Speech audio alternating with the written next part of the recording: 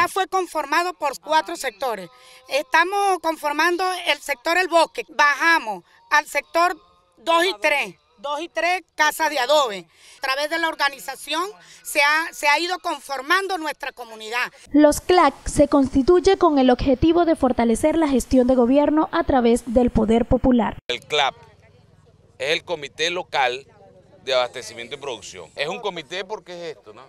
Un comité no lo puede hacer una sola persona.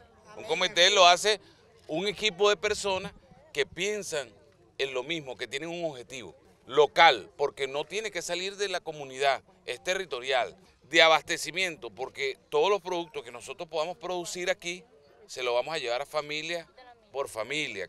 Y lo otro es la producción.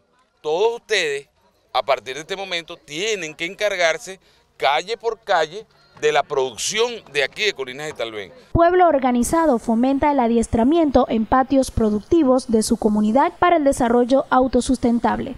El jueves comienzan los cursos para preparar abono, cómo se, cómo se abona el maíz y entonces pero nos van a ayudar cómo se van a preparar todo ese material y cómo se van a sembrar, cómo se sacan las semillas. Tenemos 100% en salud en nuestra comunidad en el sector de acá en consultorio adaptado. Desde la gobernación del estado portuguesa reportó